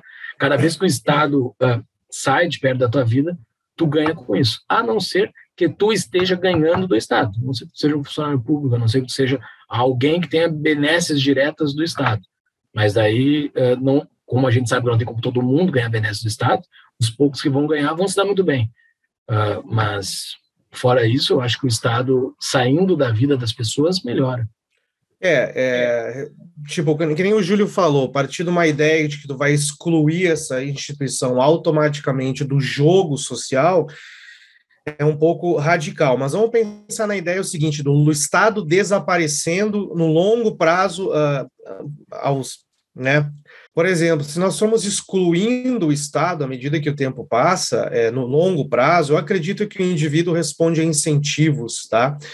É, e o Estado é o grande veículo ou instituição que distorce a estrutura de incentivos na sociedade. O exemplo mais clássico hoje, moderno, aí, né, saindo da forma é os Estados Unidos esse ano aqui. Nós estamos com todo esse problema na cadeia de distribuição do país. Nós estamos com um problema de inflação de preços. Foi o Natal mais caro dos Estados Unidos nos últimos 40 anos, porque o Estado, através do governo Biden, distorceu a estrutura de incentivos, principalmente para as pessoas trabalharem, entendeu? E gerou todo um, um, efeito de encadeamento na cadeia de suprimentos. Então, à medida que nós formos retirando o Estado ao, aos poucos, todas as pessoas vão conseguir ser mais produtivas, elas vão ser incentivadas, talvez, num determinado momento, a se adaptar, por exemplo, ter que trabalhar mais, ter que buscar formas de treinamento para ela buscar novas habilidades para se colocar no mercado mercado de trabalho, então exigir mais das pessoas no curto prazo, mas no longo prazo ia ser uma sociedade muito mais produtiva.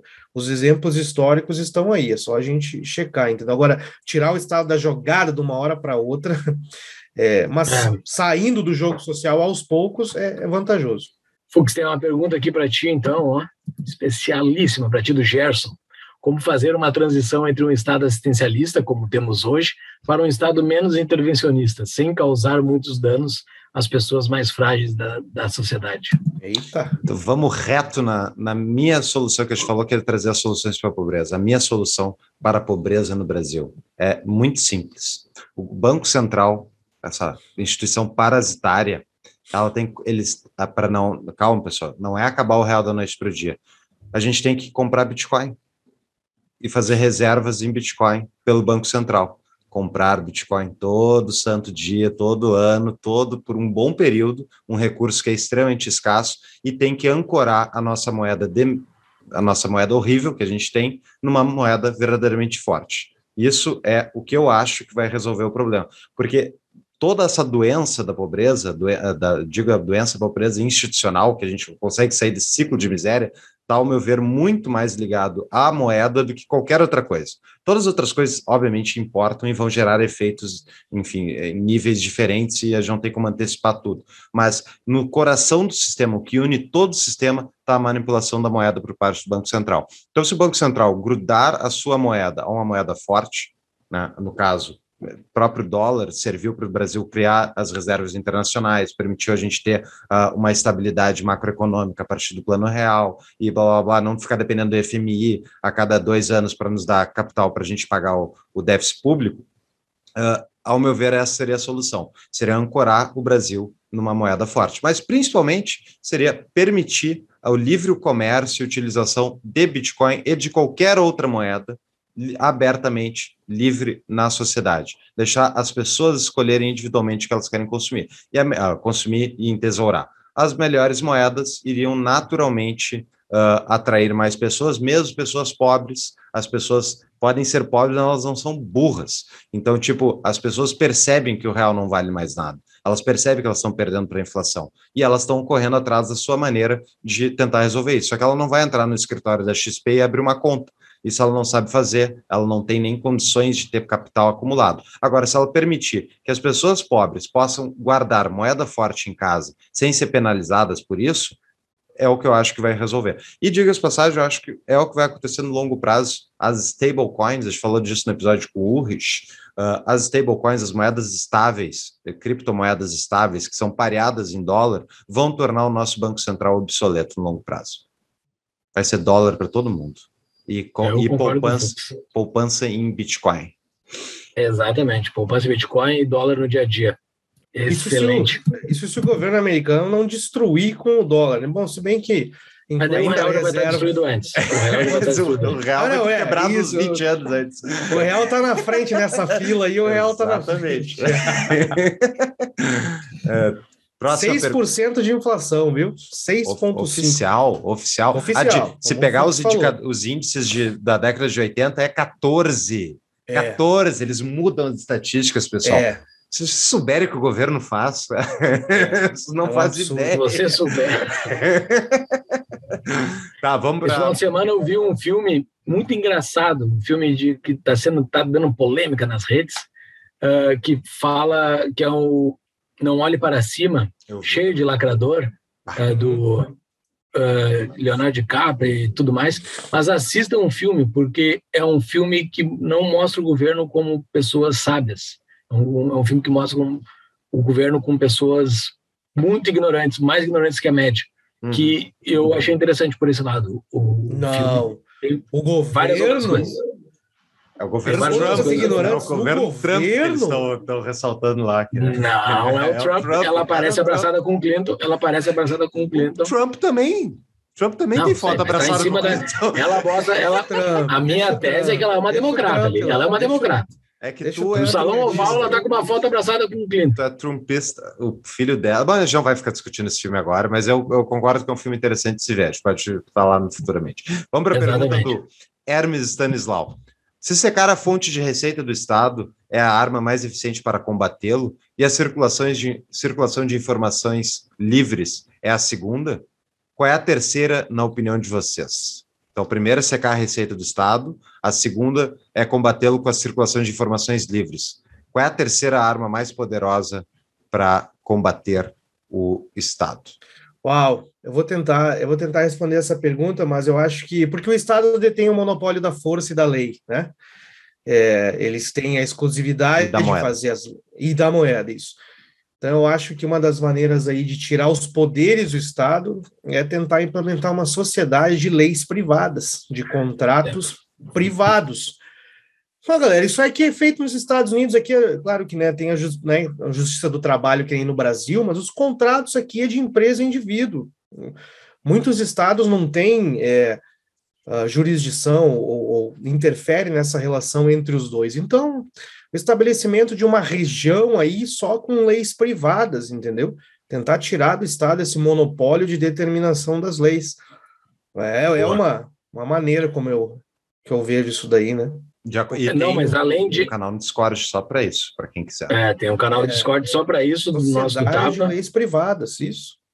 E que em breve a gente falará mais sobre ela. Esqueci. Mas além é disso.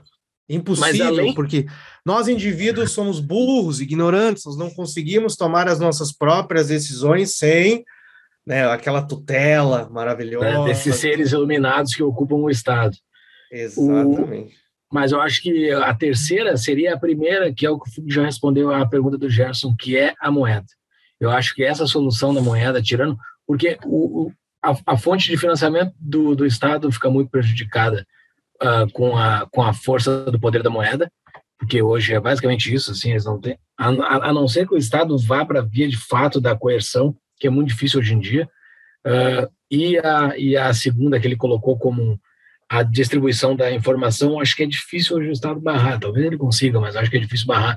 Então, controlando a moeda e com a distribuição de informação livre, eu acho que fica muito difícil para o Estado revidar. Mas por que a gente está falando sobre isso? Por que, que o nosso patrão fez as perguntas se o episódio é sobre pobreza?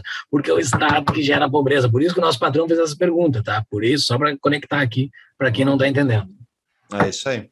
E pergunta. E do Thiago Ló, do Thiago Ló, que eu queria falar que eu citei, não é uma pergunta, basicamente, ele deu uma afirmação aqui, que o Thiago escreve super bem, eu, eu gostaria de ler ela. Ah. Tem um livro chamado O Mistério do Capital, do Hernando de Soto, que tem a teoria de que o grande problema dos países ainda subdesenvolvidos é um problema de não institucionalização de capital. Aquela história de o pobre não ter os papéis do seu capital, casa, terreno, negócio informal, e portanto não e portanto ele encontra-se excluído do sistema e não consegue ter acesso a recursos financeiros utilizando seu capital como colateral.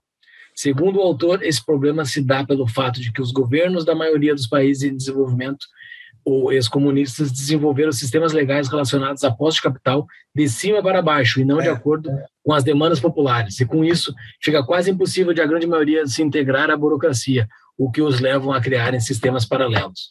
O Thiago respondeu isso aqui, não foi então é, o quadro resposta de patrão, e não pergunta de patrão, que então, foi é que muito boa. Como é que é o nome do, do boss aí? É o Thiago Ló? Thiago Ló, Thiago Ló. Muito bom, inclusive, é, acho que eu já mencionei em episódios anteriores, para minha monografia lá na, no bacharelado em Ciências Econômicas, eu escrevi sobre o índice de liberdade econômica e direitos de propriedade. Eu tive que ler, não li todo, viu, Fux? Não li todo o livro, mas eu tive que ler vários capítulos desse uh, Mistério do Capital, do peruano Hernando de Soto, e foi um livro que, assim, ó, abriu a minha cabeça para essa Red questão, mais ou menos, de direitos de propriedade, porque tem países que eles são considerados pobres porque é pobre na maneira que eles mensuram hoje, porque os pobres daqueles países, eles têm propriedade, têm capital que não são avaliados, não são registrados, ah. porque o Estado não permite e quando o faz, o faz muito mal.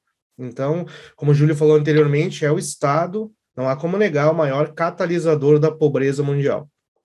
Com essa, acho que está, estamos um bom ponto para terminar. Pessoal, Ótimo papo, adoro falar mal do Estado junto com vocês. E... Mas eu vou falar verdades, né, pessoal? E se a gente cometeu alguma coisa que está er... falamos alguma coisa que está errada, ou algum dado que vocês discordam, por favor, comente no nosso YouTube, no nosso Exato. Instagram, estão mais convidados. Nós não somos donos da verdade, mas eu acho difícil alguém me, me conseguir me provar que não ter um Estado arrecadando 50 mais por cento da renda nacional todo santo ano vai diminuir a pobreza, né? Acho que vai diminuir a pobreza se diminuir o Estado. Ponto. Bom? Exatamente. Vamos em frente. A sociedade de leis privadas está cada vez mais viável, com o Estado cada vez inviabilizando o resto tudo.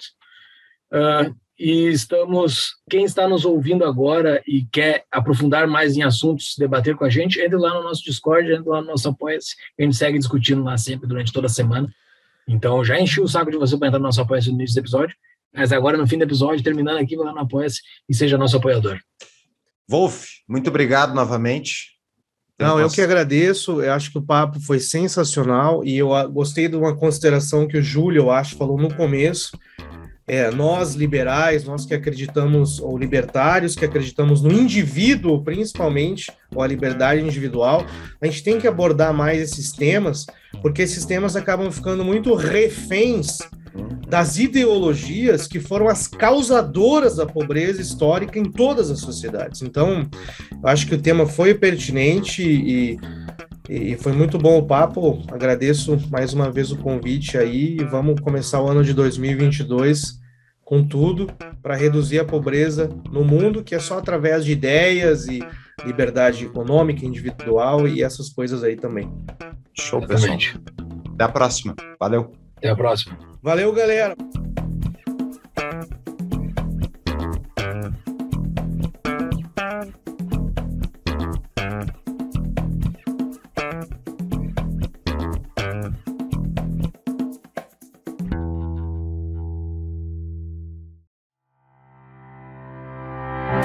CapTable é a nossa patrocinadora desde o início do podcast. Ela é um hub de conexões entre startups, investidores e demais players do ecossistema da disrupção tecnológica. Eles fazem isso através de uma plataforma 100% online e regulada pela CVM, se você gosta de regulações, que conecta, então, negócios escaláveis a investidores. Então, isso tudo para proporcionar efeitos de rede e uma comunidade engajada às startups investidas. A plataforma já é a maior do Brasil para investimentos em startups, são mais de 4 mil investidores, 30 milhões investidos em 27 startups. Acesse captable.com.br, cadastre-se e invista de forma descomplicada, inteligente e exponencial. Captable, captable.com.br ou o Instagram deles, que é arroba captablebr, tudo junto, ou no site do Tapa da Mãe Visível, tapadamainvisível.com.br barra CAP, de CAP.